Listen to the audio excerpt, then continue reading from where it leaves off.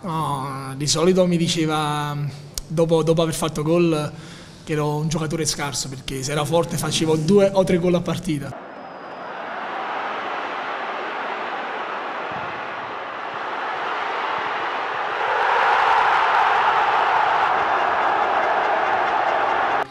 Suo padre Giuseppe, scomparso qualche mese fa, lo motivava così in questo modo ironico.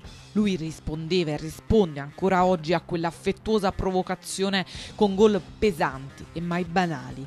Gigi Castaldo è la storia dell'Avellino degli ultimi cinque anni, l'ha scritta e vuole continuare a scriverla. Non gli importa di avere 36 anni, non gli importa se si è sentito dire sei finito, basta, vattene. Lui da leader silenzioso preferisce parlare sul campo, trascinare l'Avellino con quell'autorevolezza che solo i grandi hanno. Ha promesso che la sua squadra si sarebbe salvata e così sta facendo. Ci ha messo 76 minuti, alla fine ci è riuscito in uno stadio Partenio Lombardi mai come ieri sera incredibilmente pieno, oltre 12.000 persone. Uno stadio bello, a stendere uno Spezia sempre agguerrito fino alla fine.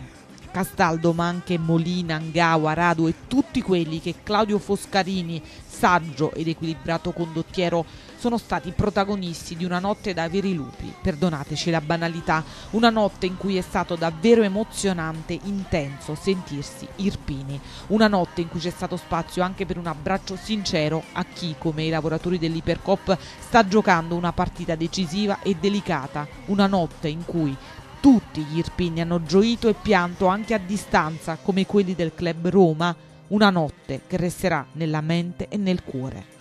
Ma venerdì sera ci sarà un'altra battaglia, quella di Terni, e lì non si può ancora una volta sbagliare, lì c'è l'inferno o il paradiso ad attendere i lupi e tutti noi.